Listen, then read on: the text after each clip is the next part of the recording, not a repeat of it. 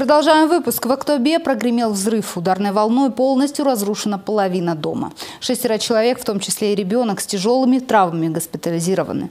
Версии причины взрыва жильцов и спасателей отличаются. Что произошло на самом деле, выясняла Эльмира Иржанова.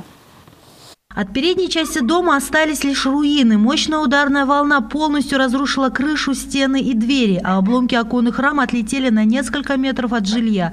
Взрыв произошел около 9 часов вечера. В доме находились шестеро человек. Супруги Чеверда, их 11-летний сын и родственники. Страшный взрыв был. Грохот, да? Был? Грохот, это не, не, это не, не высказать, это не грохот, целая бомба разорвалась.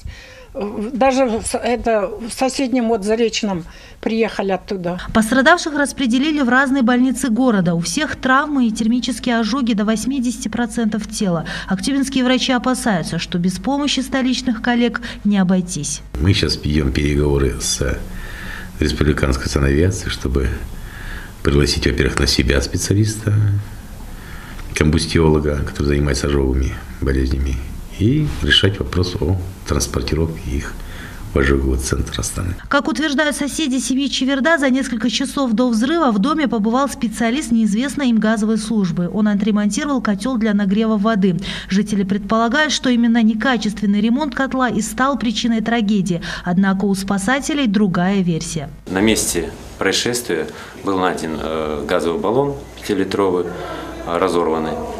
Вот. Предположительно, мы считаем, что возможно от этого прибора и пошло.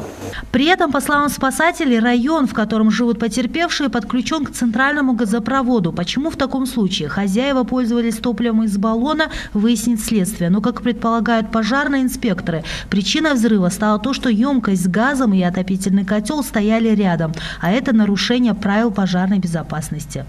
Эльмира Ежанова, Аслхан Бекенов, Информбюро, Актубе.